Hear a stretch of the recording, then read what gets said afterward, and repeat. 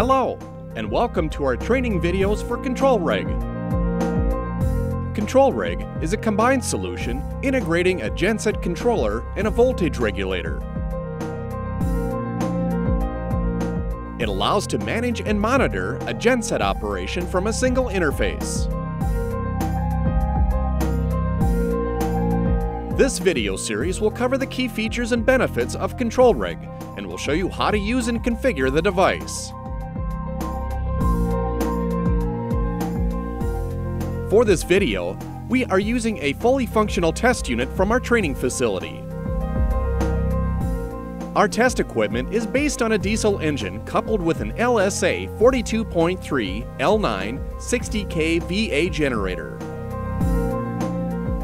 All necessary sensors and control signals are connected from the switchboard to the training room where we have a ControlReg unit installed.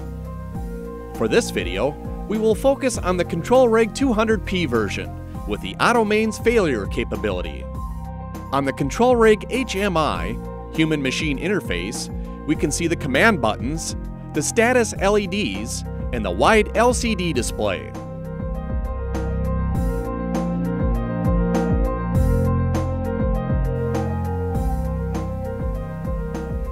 From the HMI, click on OK to access the main menu.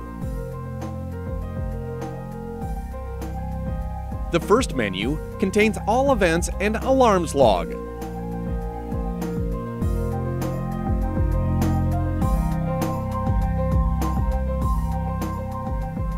For each of them, we have up to 50 records, which can be navigated using the up and down arrows.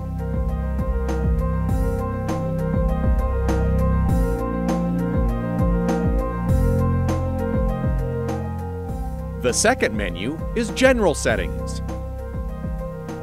It allows to configure the main options of the controller, including the main running mode, AMF, island, etc. More details will be given on this particularly important menu in the coming videos.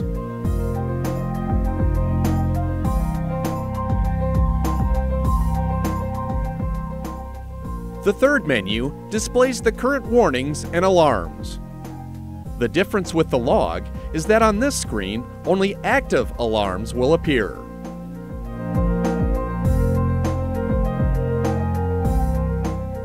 The fourth menu is for service. It allows to check the status of the device connections. It also gives access to the M-Logic menu, The last menu lets you configure the inputs and outputs connections.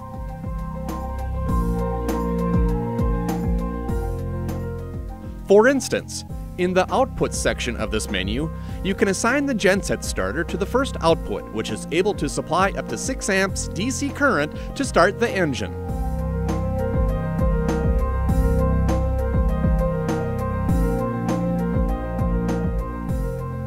Here is a useful tip. For quick access to the AVR menu, push on the up and down arrow simultaneously.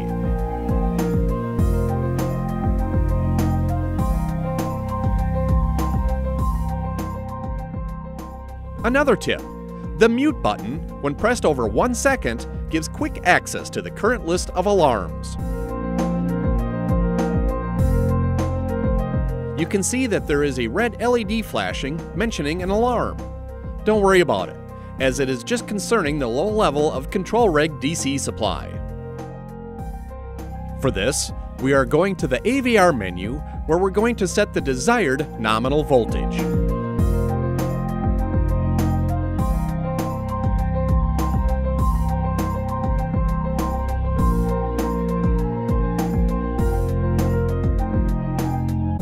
If required, we enter the password.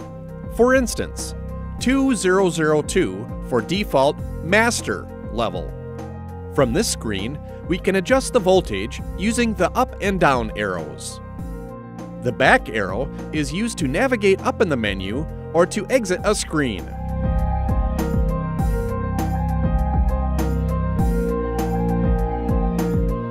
Okay, now we're going to carry out some tests. Now we are starting the generator set by using the On button. We see the ControlReg preparing the startup on screen. Now the generator set starts. And we see that the voltage is 400 volts as intended. To stop the genset, we can either click on the off button once and wait for the stop sequence countdown,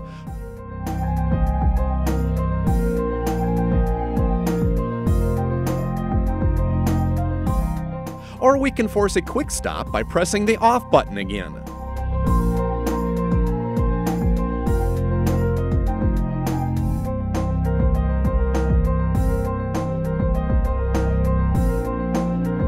The AVR settings menu also provides access to other settings such as PID settings and user function setup to enhance genset load capability and transient performances.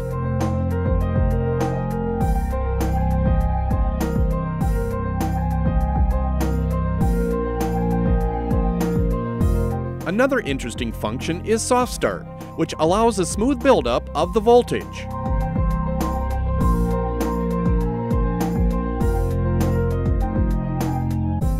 We are now going to test this feature.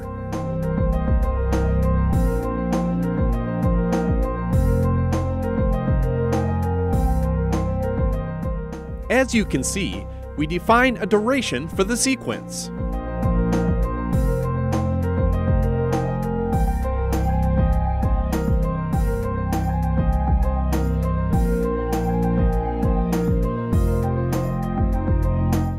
Now, we start the genset.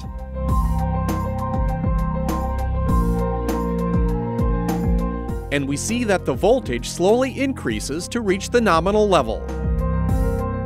This soft start function is very useful for induction motor starting and for transformer magnetization applications.